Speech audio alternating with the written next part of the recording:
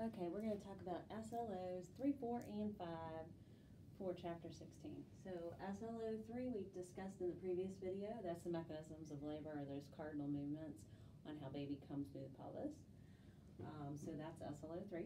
SLO 4, premonitory signs of labor. So how are we going to know if our patient is getting ready to go into labor? That's what the premonitory signs are. They're like uh, the warning sign before the patient goes into labor. Braxton Hicks contractions. Those are practice contractions. Patient has contractions off and on. They're there, they go away, they come back. So it's just a practice. They don't stay and get more regular.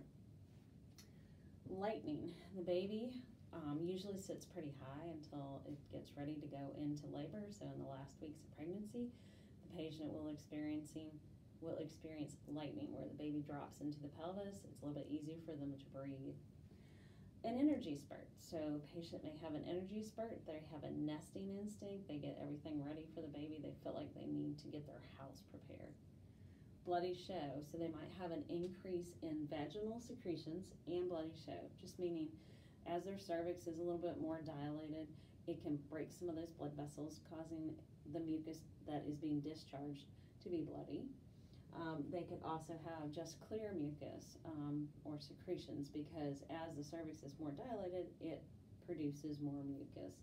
Um, so they just might have an increase in clear mucus.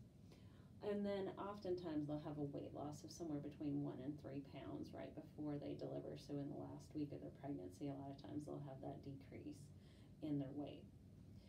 Um, the SLF for five is how do we tell the difference between true and false labor?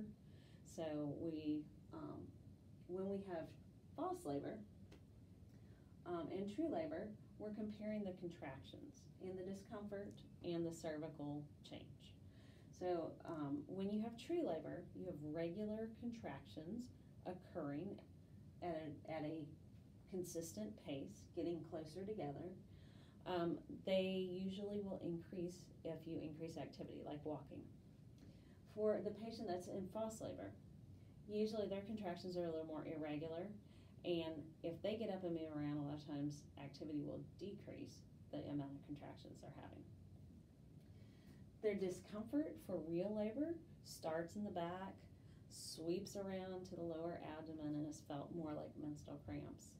For false labor, they tend to feel more um, abdominal pain and into the groin um, instead of that coming from the back to the front, menstrual crampy feeling for true labor.